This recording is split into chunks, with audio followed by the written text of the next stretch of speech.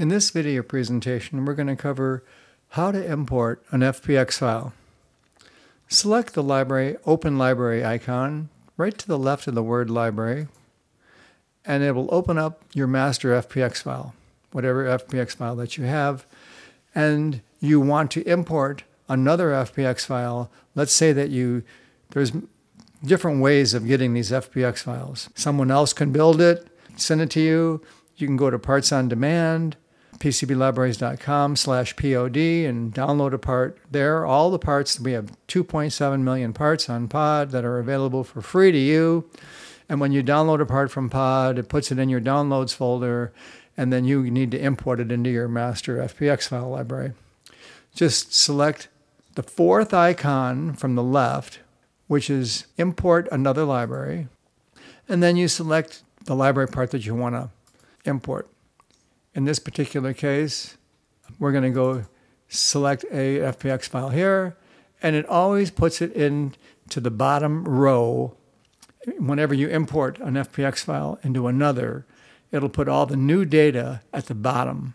Now, there is a situation where if you sort on any column, whatever column you sort on, when you import an, an FPX file, it will not import the FPX file at the bottom. It'll put in the FPX file exactly where you sort. So let's say that you sort on uh, manufacturer, and we're at the bottom of the FPX file right now. So we're going to go to the top. Say so A, B, C, D, E, all the way down. I sorted on manufacturer.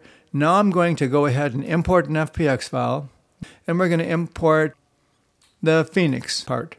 And so it'll sort the new row right in alphabetical order per the manufacturer.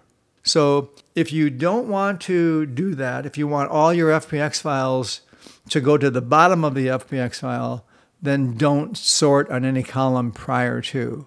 That's easy to do. You just select the first icon, open library, and then just open up your library, and then everything's unsorted.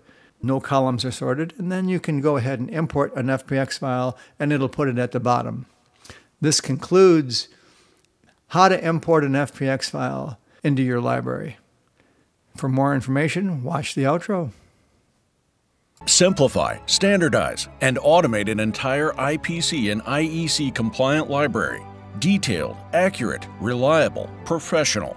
Highest quality footprints and 3D step models, clicks away. Many companies worldwide are easily generating their CAD libraries. You should too. Get a fully functional Footprint Expert Evaluation license for any CAD format and demo today. Contact us at pcblibraries.com or call 847 557 2300.